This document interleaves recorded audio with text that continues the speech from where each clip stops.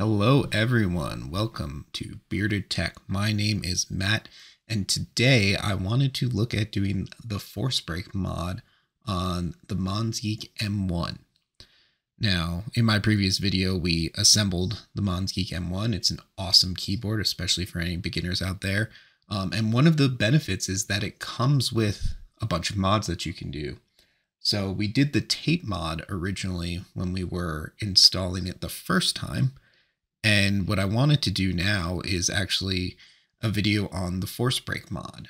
Uh, this is a mod that I find a little harder to find details on. People talk about it a lot, how much they love it. However, there isn't a lot of details on it itself.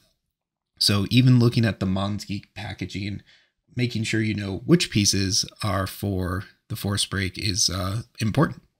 So what the force break mod is, is basically around all of these screw points. You put what some people have as tape, um, or if you saw in the beginning of the video, what Monsgeek provides with you is kind of these little pads um, that have adhesive on one side.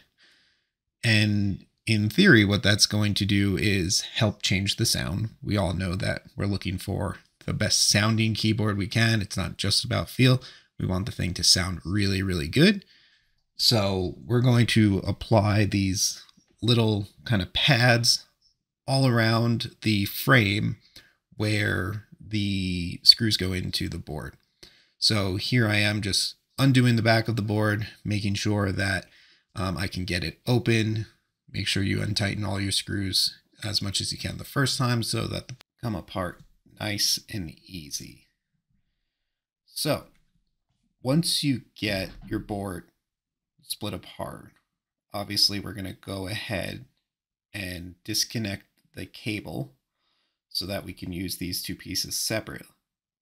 And then what you're going to do is grab your tape or your little pads that came with the Monsgeek M1, for instance, and all around the board, wherever you have a screw hole, you're going to put the tape or the pads on each side that you can fit a piece of this in. And what that's going to do, in theory, is create less ping when you're using your keyboard.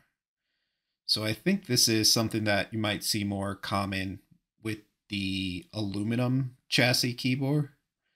I don't think you get necessarily as much ping with like a plastic case. But in theory, this will help you get that thocky sound that everyone's looking for.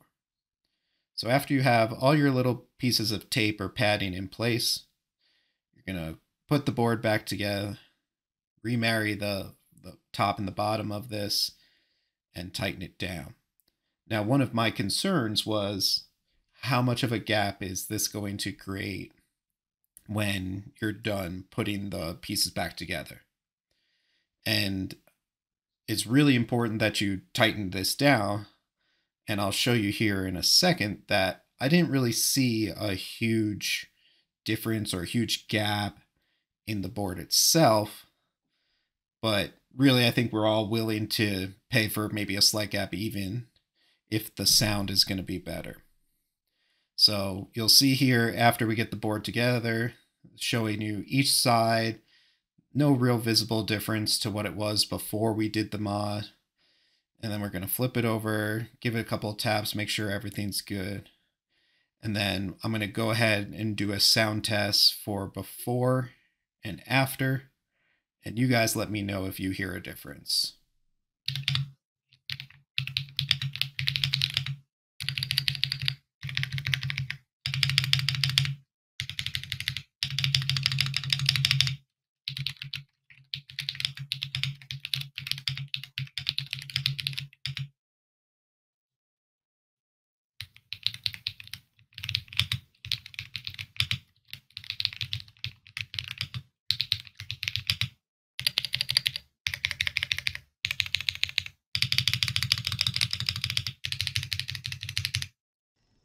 So that's the force break mod on my Monsgeek M1. Let me know in the comments. Did you hear a difference? Didn't you hear a difference?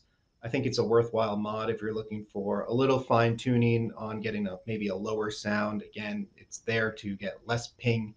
So if you have an aluminum chassis keyboard, maybe it's a great way for you to get a little closer to that perfect sound. I appreciate the support everyone's shown me uh, even over my first video. So please like, comment, subscribe, continue to show your support, and I will continue the content coming.